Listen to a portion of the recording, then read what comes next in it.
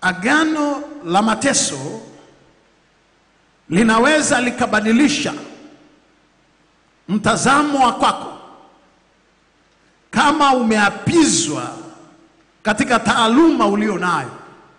Unaweza ukaamka ukichukia kabisa wewe kuwa daktari, wewe kuwa injinia.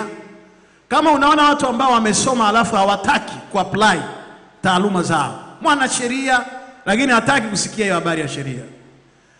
Kuna mtu mimi nilikuwa pale Kariakoo, kuna wakati ambao mtu ana duka la milioni mia tano milioni mia saba lakini akakosa hamu ya kuja dukani tu, haji tena. Akiamka asubuhi, anaweza akatoka Kimara, anakuja mpaka hapa Magomeni, anaingia baa, anaambia vijana, fungueni duka, alafu mkiuza mniletee hapa, naendelea kunywa pombe asubuhi na mapema, paka alifilisika. Ananiambia mchungaji, sina hamu ya kwenda kwenye hilo duka. Kabisa. Mwingine alikuwa ana, ana, ana, ana yadi kubwa sana ya vifaa vya, vya magari kule Tabata, hataki ha, yani hataki. Ana, ana, ana vifaa vya magari anauza vichwa vya masemi trailer zaidi ya bilioni tatu, hakanyagi, hataki.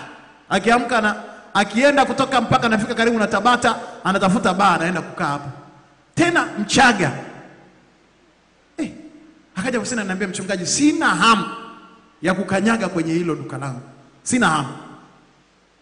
Kuna wengine hapa mna viwanja lakini huna hamu, yaani huna hamu ya kukanyaga kwenye hicho kiwanja. Tangu ulipolipa pesa na ukalipa na kodi ya serikali, hata, hata, hata baada hata kwenye hii over weekend ya hii Pasaka, ukiamua kwenda kwenye kiwanja chako hupajui.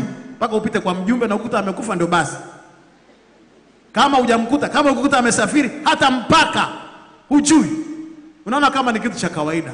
That is not normal, sio kitu cha kawaida hata kidogo. Kuna mwanaume ambaye anaapizwa kuwachukia watoto wake, hataki kuwaona. Amezaa lakini hataki kuwaona kabisa. Kuna wanawake pia ambao hawataki kuona.